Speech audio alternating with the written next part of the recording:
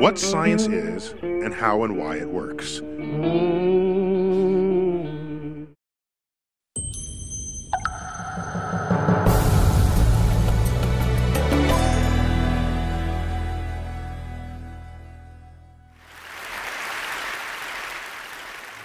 Илон, привет. Добро пожаловать. Рады снова видеть вас на TED. Да, спасибо. Итак, следующие минут 30-40 мы будем говорить о том, каким вы представляете будущее, о том, как будет выглядеть будущее. И первый вопрос — зачем бурить Землю? Да. Задаю себе тот же вопрос. Сейчас мы хотим пробурить дыру под Лос-Анджелесом, что должно положить начало трехмерной сети, чтобы решить проблему пробок. Сейчас дорожное движение выматывает всю душу из людей. Это происходит по всей Земле. Просто забирает часть жизни, и это ужасно. Особенно в Лос-Анджелесе. Если не ошибаюсь, у вас есть с собой первые кадры визуализации концепции. Можно показать? Да, конечно. Премьерный показ, чтобы вы понимали, о чем мы говорим. В трехмерном тоннеле есть несколько ключевых элементов.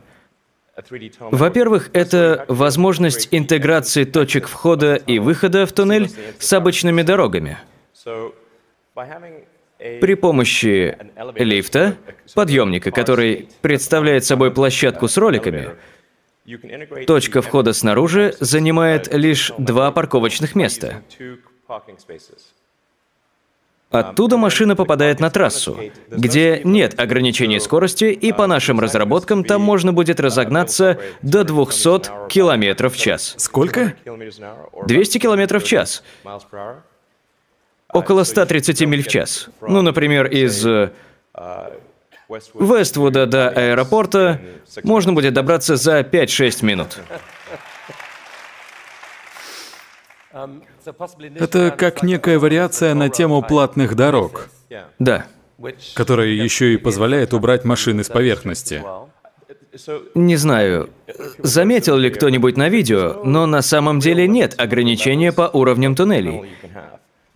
И вниз можно пойти намного дальше, чем вверх. Абсолютная глубина самых глубоких шахт больше, чем высота самых высоких небоскребов. Поэтому с помощью трехмерного туннеля можно значительно сократить количество пробок.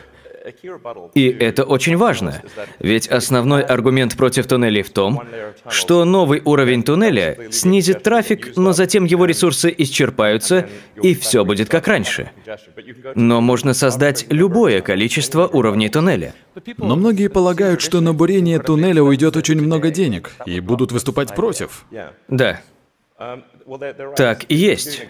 В качестве примера скажу, что расширение метро Лос-Анджелеса расширение на 3-4 километра стоило около 2 миллиардов. То есть где-то по миллиарду на полтора километра. И это еще не самое дорогое метро. Поэтому, да, обычным способом очень сложно прокладывать туннели. Думаю, что нам нужно минимум в 10 раз сократить расходы на работы по бурению. И как это сделать? На самом деле, можно улучшить показатели на порядок и даже больше, если сделать всего две вещи. Во-первых, нужно сократить диаметр тоннеля в два раза или более. То есть, по правилам в поперечнике, туннель с односторонним движением должен быть 8-9 метров. Там должны проезжать специальные машины и должно хватать места для вентиляции от угарного газа. Но если сократить диаметр до 3,5 метров, а этого достаточно для передвижения электрической платформы, если уменьшить диаметр в два раза и поперечное сечение в 4, то, соответственно, уменьшатся и расходы. Это улучшение уже примерно в 5 раз. Сейчас туннельные машины работают так. Пробуривают немного, останавливаются и укрепляют стенки. Поэтому, если разработать машину, которая будет сразу бурить и укреплять, эффективность повысится еще в два раза. Соединяем и получаем улучшение в 8 раз. Кроме того, эти машины работают не на пределе возможностей, так что и это еще можно улучшить. Думаю, можно повысить эффективность минимум в 2, а может и в 4-5 раз. Поэтому я вижу ряд последовательных шагов для снижения экономических затрат на бурение каждого участка, и на самом деле наша задача такая. У нас есть ручная улитка по кличке Гарри. Как Гарри из Южного парка... Нет, то есть из сериала «Губка Боб. Квадратные штаны». И Гарри в настоящее время он двигается в 14 раз быстрее туннельной машины. Вы хотите обогнать Гарри? Точно, обогнать Гарри. Он парень серьезный. И победа будет серьезной. Обогнать улитку. Но многие представляют себе города будущего, полные летающих машин и беспилотников. Будущее над землей. Почему это решение хуже? Вы потратите значительно меньше денег. Разумеется, мне очень нравится все, что летает. Я занимаюсь ракетами, я люблю это. У меня нет предубеждений против воздуха, но есть огромное количество проблем, связанных с летающими машинами. Например, шум и создаваемый ветер. То есть, если над вами будет летать куча машин туда-сюда, то спокойнее вам точно не станет. И вы не будете думать, ну, будущее прекрасно. Скорее будет, а не прошли техосмотр, а глушитель на меня точно не свалится, и все такое. Итак, у вас есть свое видение города будущего с трехмерными туннелями. Это связано с Hyperloop? Можно ли их использовать для проекта вакуумного поезда, о котором вы говорили пару лет назад? Да. Мы немного поработали с этим проектом. Создали опытную трассу в рамках SpaceX для студентов, чтобы они практиковались в инновационных идеях для транспорта. Она оказалась второй по величине вакуумной камерой в мире, после Большого адронного коллайдера по объему. Забавно, но скорее это было хобби.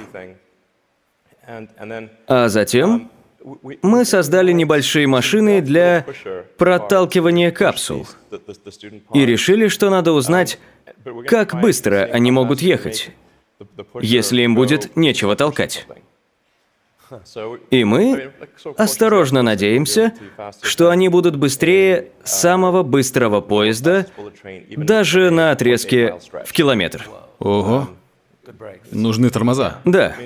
Или все разлетится на кусочки, или поедет очень быстро. Вырисовывается картина с поездами в длинных вакуумных туннелях. Совершенно верно. И если посмотреть технологию прокладки туннеля, то для защиты от грунтовых вод нужно, чтобы стенки туннеля могли выдерживать 5-6 атмосфер. А чтобы выдерживать вакуум, достаточно одной атмосферы. Или почти вакуум. Поэтому над этим не надо будет думать. Если создать туннель, который выдерживает давление грунтовых вод, то он подойдет и для вакуума. Вот так. И на какую длину туннелей можно рассчитывать в этом будущем от Илона Маска? Думаю, что здесь нет ограничений. Можно бурить сколько угодно. Полагаю, если бы надо было пустить линию через густонаселенную территорию от округа Колумбия до Нью-Йорка, то лучше делать это под землей. Туннели проходят под домами, и если они достаточно глубоко, то от них нет шума. Некоторые негодуют от мысли, скажем, что под их домами будет проходить туннель. Но если он проходит на глубине 3-4 диаметров, то вы не поймете, что под вами вообще есть туннель. Скорее даже наоборот, если вы сможете обнаружить под своим домом туннель при помощи каких-либо устройств, то вы можете разбогатеть, продав их, например, Израилю для обнаружения туннелей террористов. Или таможенной и пограничной службе США для поиска наркотуннелей. На самом деле Земля очень хорошо поглощает вибрации. И когда туннель находится ниже определенного уровня, его просто не обнаружить. Разве что при помощи высокочастотных сейсмографов появится какой-то шанс. И для этого вы учредили бурную кампанию. Да, очень смешно. А что смешного? Много времени уделяете? Ну, процента два или три где-то. Завел себе хобби.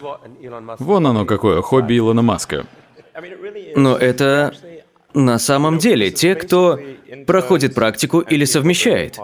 Мы купили подержанную технику, работаем немного.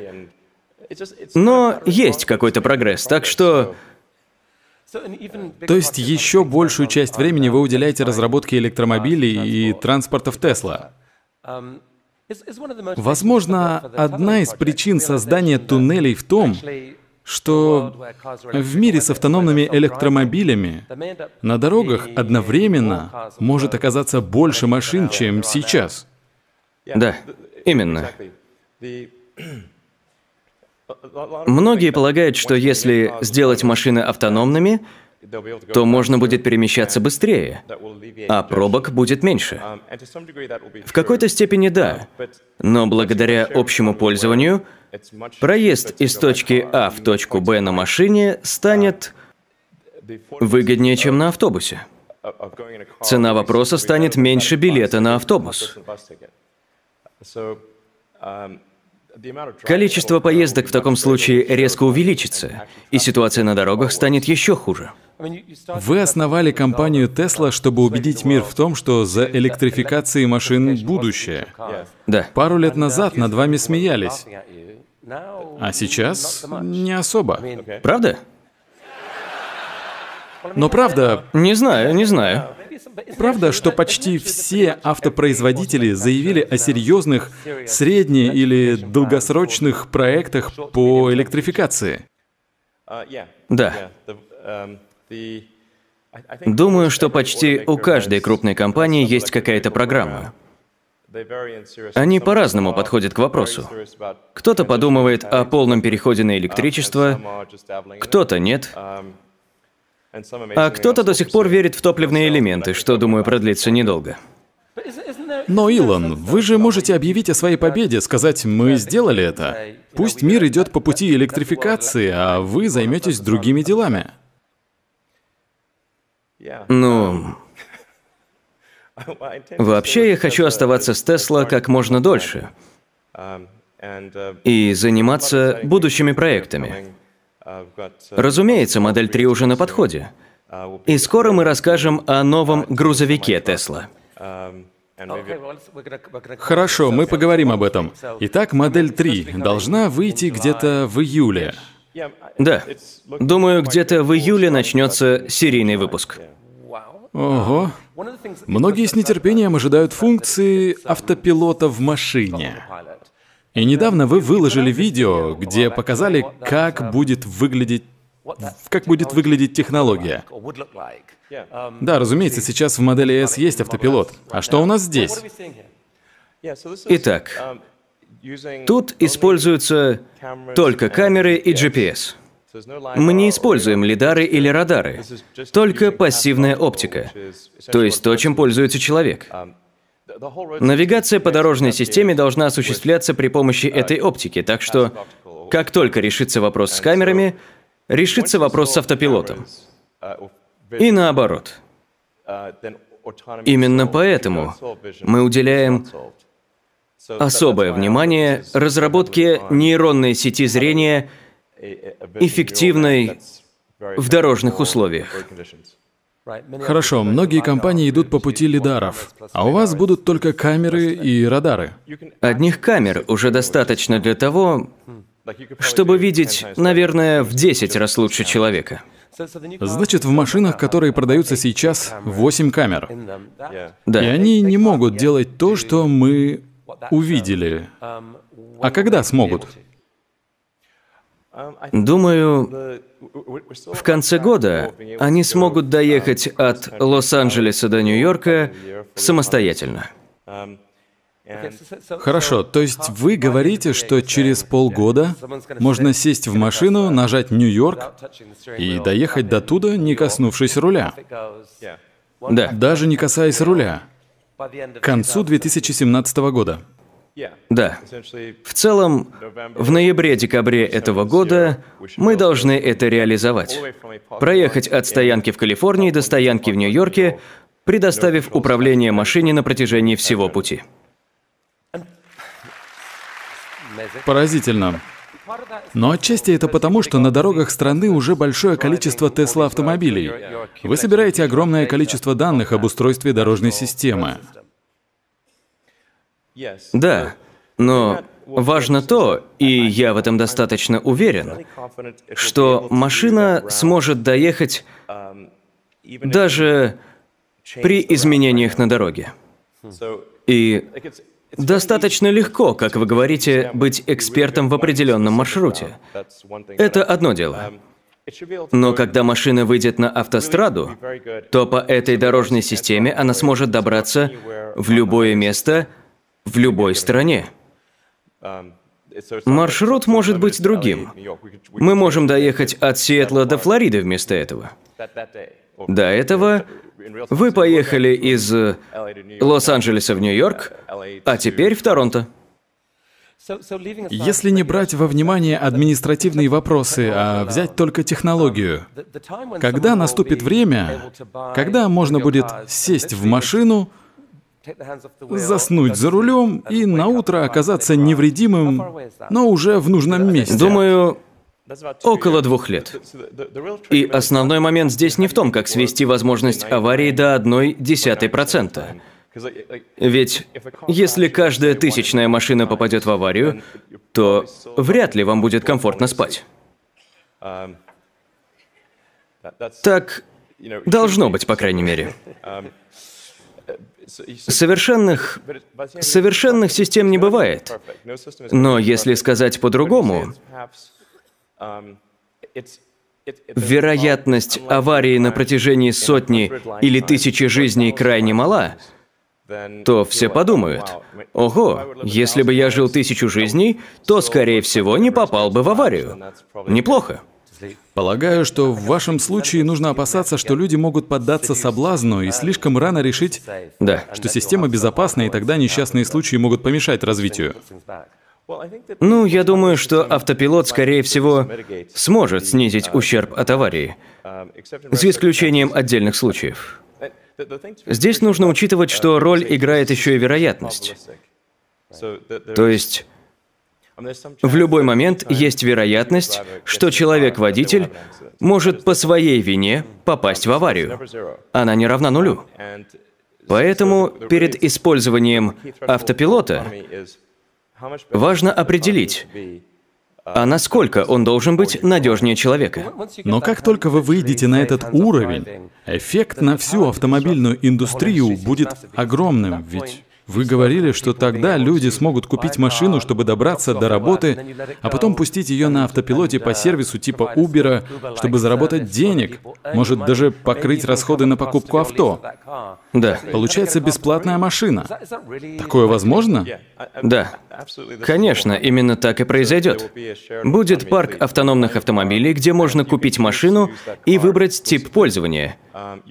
Личное, или можно выбрать семейное, с друзьями, или только для водителей высшей категории. Можно выбрать, когда вы хотите делиться автомобилем, а когда нет. Это, несомненно, произойдет. Вопрос времени. Ого. Вы упомянули грузовик, который представите в сентябре, но интересно, а сегодня можете что-нибудь показать? У меня есть тизер грузовика. Прямое включение. Прекрасно. Это как раз тот случай, когда нужно внимательно подойти к функции автопилота. Разумеется. Видно немного, но он не похож на соседский фургунчик. Тут все серьезно. Э, Что это за грузовик? Ну, это тяжелый тягач для поездок на дальние расстояния. Высочайшая грузоподъемность на таких расстояниях. Разумеется, он должен улучшить положение с трафиком для большегрузов. А многие в это не верят, полагая, что у грузовиков недостаточно мощности или дальности хода. Мы хотим показать, что у двигателя электрогрузовика крутящий момент выше, чем у дизеля. Если сцепить его с обычной фурой, то он ее перетянет, даже если поедет вверх по склону.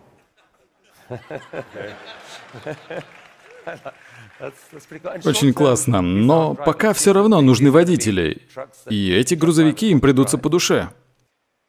Да. Самое интересное в том, что у электромотора кривая крутящего момента плавная, а у любого дизельного двигателя или автомобиля с ДВС кривая момента пикообразная. Поэтому грузовик будет очень шустрым, словно спортивный автомобиль, и в нем не будет коробки передач. Всего одна скорость. Из этого можно снять отличный фильм. Не знаю, где и как, но фильм будет потрясным. Ощущения невероятные. Когда я сидел за рулем опытного образца первого грузовика, все было очень необычно. Он огромный, а управлять очень легко. Подождите, то есть вы уже ездили Да. на прототипе? Да, я ездил по стоянке, и это было просто улетно. Ого. Это уже не пустые обещания. Огромный грузовик, а ты маневрируешь как хочешь. Круто.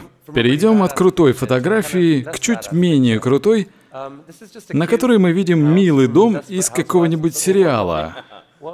Что вообще происходит? Ну, это иллюстрация того будущего, которое, на мой взгляд, нас ожидает.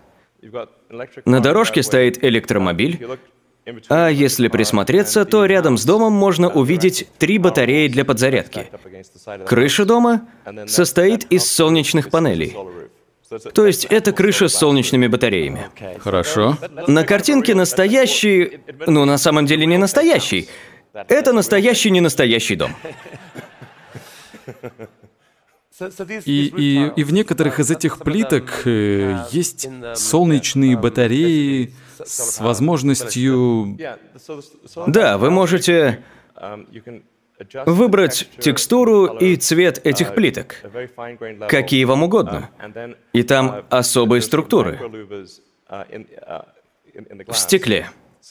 Так что, если смотреть на крышу где-то с уровня улицы, то все плитки будут выглядеть одинаково. Неважно, есть в них солнечная батарея или нет. Так что с улицы все будет выглядеть единообразно. Но если посмотреть на крышу с вертолета, то можно будет увидеть, в каких панелях есть батареи, а в каких нет. С улицы этого не увидеть. Вы помещаете их в те, что больше подвержены воздействию солнца, Да. отчего крыши становятся очень доступными, так? Немногим дороже наших нынешних крыш. Мы уверены, что стоимость крыши и стоимость электричества, крыша с солнечными батареями будет дешевле, чем обычная крыша и электричество. Будет очевидная экономическая выгода. Мы думаем, что выглядеть это будет классно и долго. Сначала мы хотели дать гарантию вечность, но тогда люди подумают, что это вранье. Но здесь мы используем усиленное стекло. Так что после того, как самого дома уже не будет, и ничего не будет, эти панели будут в порядке. Это классно на самом деле.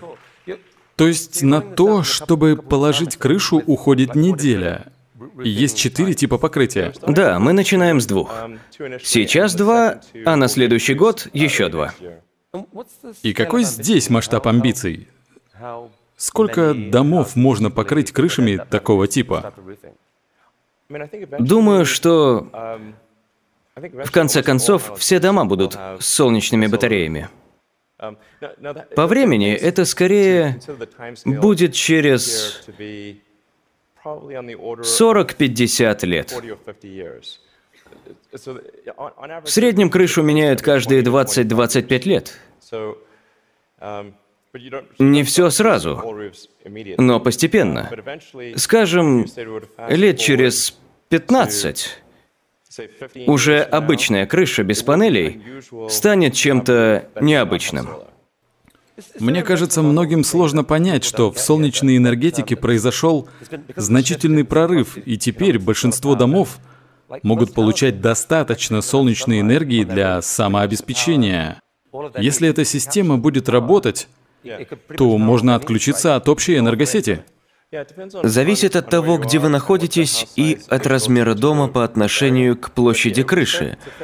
Но вы справедливо заметили, что у большинства домов в США хватает площади крыш для самообеспечения. К ключевым элементам экономики производства электромобилей, грузовика и этих домов является падение цен на литий-ионные батареи, на что вы сделали серьезную ставку.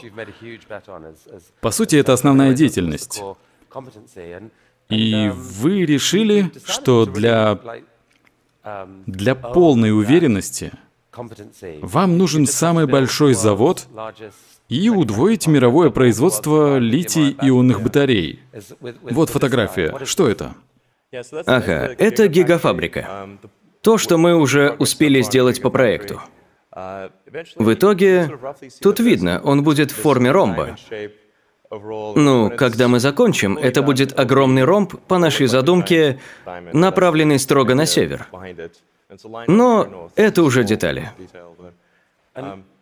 Где каждый год он будет производить батареи емкостью сотни гигаватт-часов. Сотни гигаватт-часов? Наверное, побольше, но да. И их уже производят. Они уже в производстве. Включите видео. Это видео, оно ускоренное? Это замедленная версия. А как быстро они двигаются?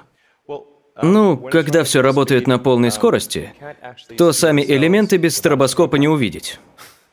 Все размазано.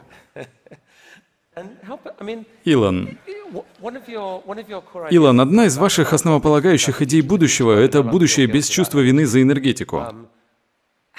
Помогите представить, сколько, допустим, для этого нужно гигафабрик? Около сотни. Не десять, не тысяча, скорее всего, около сотни.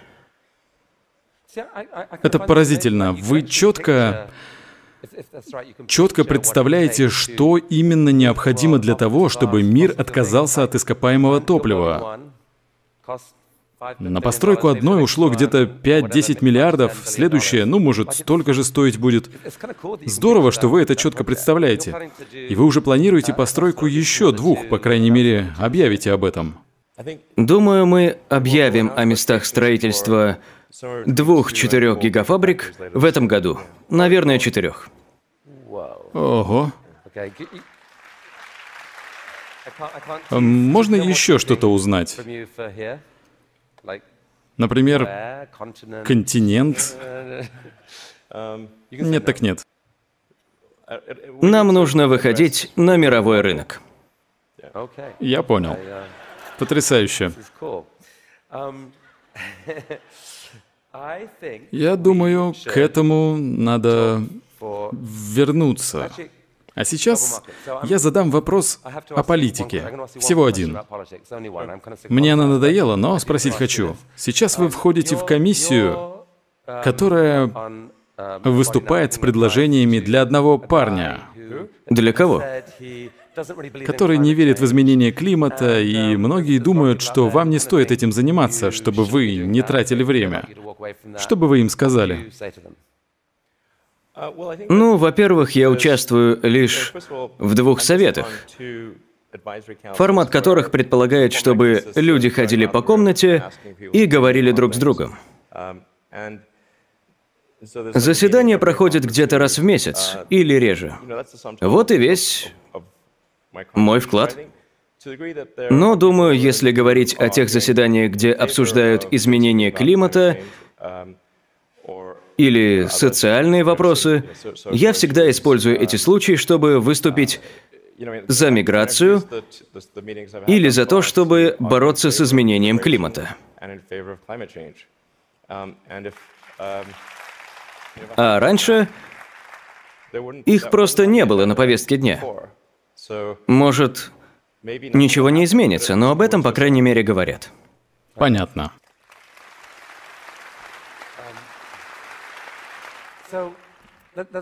Давайте перейдем к SpaceX и Марсу. В прошлый раз вы говорили об очень амбициозной идее разработки многоразовой ракеты. И сейчас вам это удалось. Да, наконец-то. Много времени ушло. Расскажите нам, что на экране? Это одна из наших ракет на большой скорости возвращается из космоса. Она только что доставила верхнюю ступень. Думаю, скорость тут около 7 махов.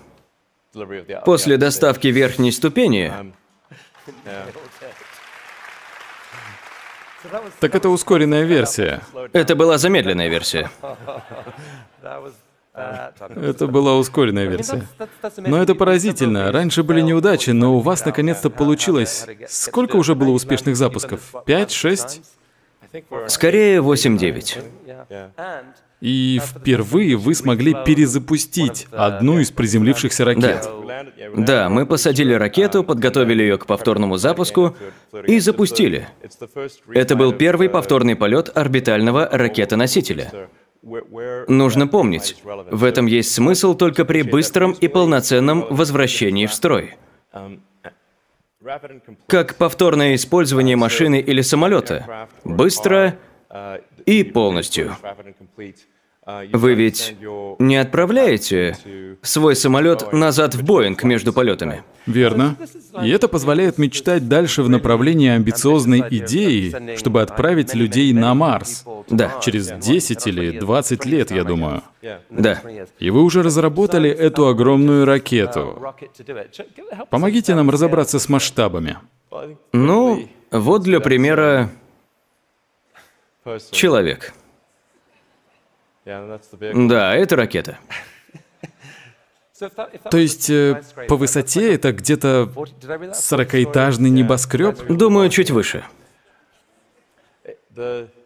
Ее тяга очень... При конфигурации ракеты тяга в четыре раза больше тяги ракеты Сатурн-5, летавшей на Луну. В четыре раза больше тяги самой большой ракеты в истории человечества. Да. Это так. Ага, обычное дело. Да. Если измерить Боингах 747, то его тяга лишь около 1 меганьютона. Так что общая тяга составит, если измерять все в Боингах, тяга этой ракеты равна 100-120 Боингам при всех включенных двигателях. Итак, эта машина создана, чтобы вырваться в космос. Помню, в прошлый раз вы сказали, что на ней можно доставить на орбиту целый Боинг с пассажирами и грузом. Именно. На ней можно доставить на орбиту Боинг с пассажирами, полным баком и максимально возможным грузом. Весь 747 влезет в грузовой отсек. На этой основе вы недавно представили межпланетную транспортную систему, визуализированную таким образом. Когда это станет реальностью? 30 лет, 20? Люди просто заходят в ракету. Надеюсь, где-то в районе 80 лет. Мы стремимся к этому. Наши внутренние цели более амбициозные, но я думаю...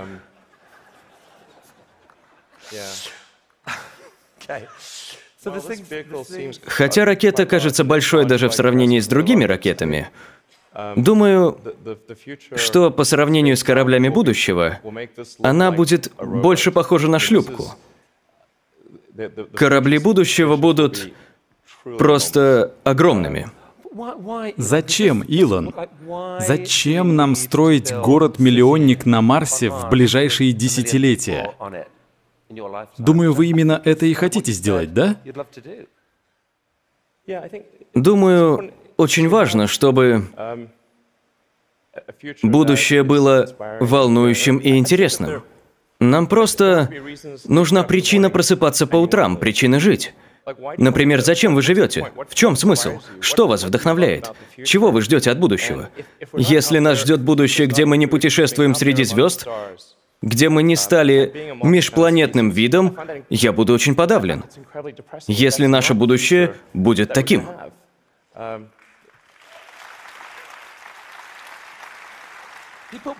Люди хотят поставить вас перед выбором. Или-или. На нашей планете множество других проблем от изменения климата до нищеты. И ваши работы кажутся неважными. Нужно думать о другом, решать насущные проблемы.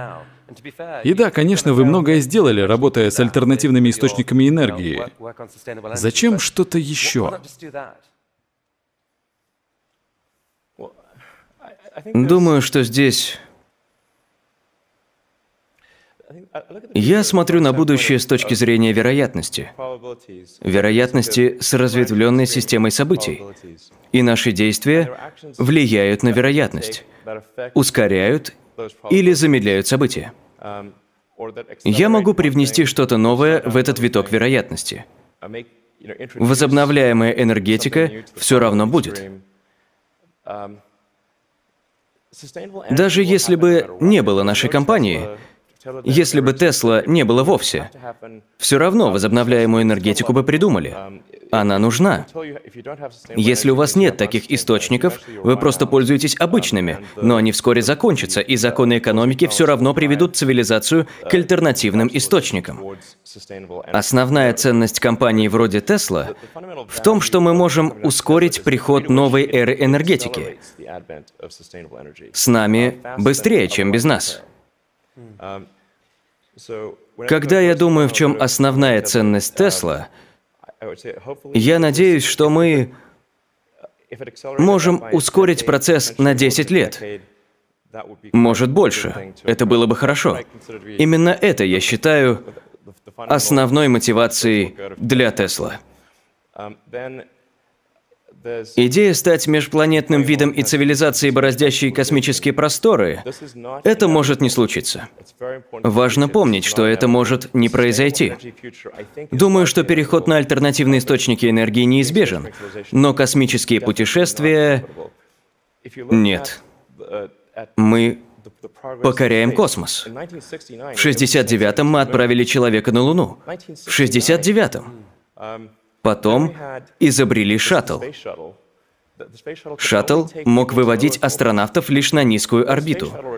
Затем шаттл списали, а США вообще никого не могли вывести на орбиту. Это и есть тенденция развития. Развитие в пустоту.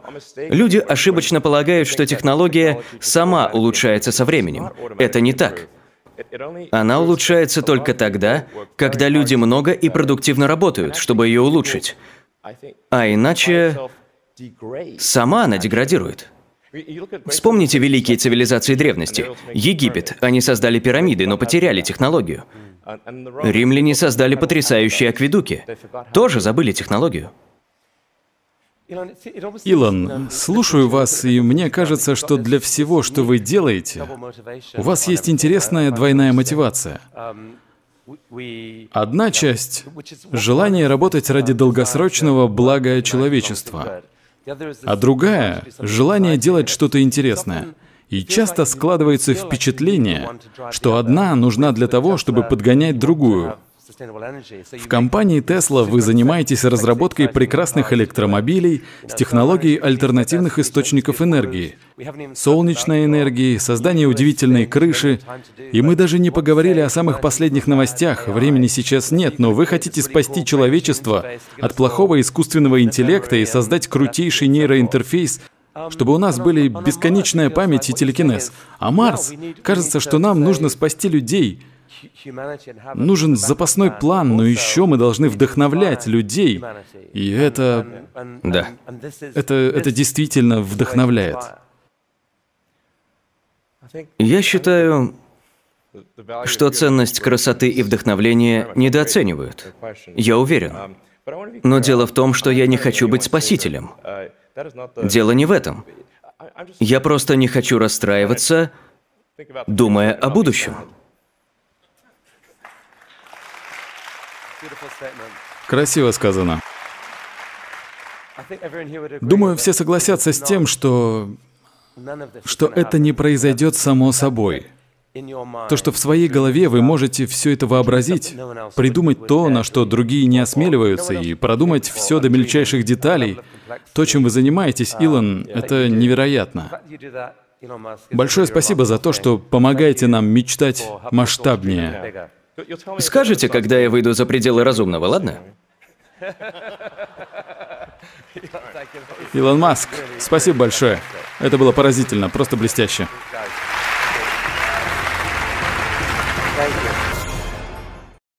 Переведено и озвучено студией Верт Дайдер.